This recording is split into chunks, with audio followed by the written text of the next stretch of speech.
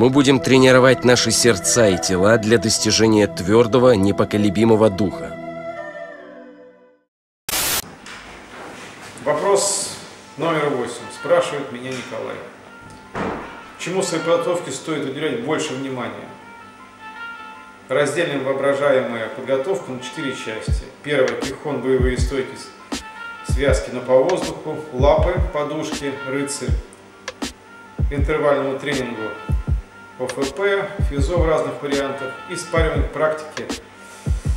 Поймите одну очень важную деталь тех вопросов, которые вы мне задаете. Все зависит от того уровня подготовки, в котором находится спортсмен, которому мы хотим все это дать. Есть люди, которые, допустим, из 100% подготовки нужно уделить только 10% ОФП. А другому нужно 50% ОФП. А третьему, у него, допустим, прекрасная координация, ему не нужен кихон вообще.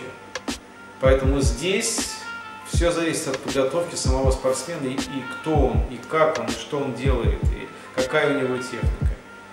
И профессиональный тренер в первую очередь должен обратить на это внимание. А для этого нужно провести тестирование. На тренировках по тестированию сразу все будет видно, как и к чему его готовить.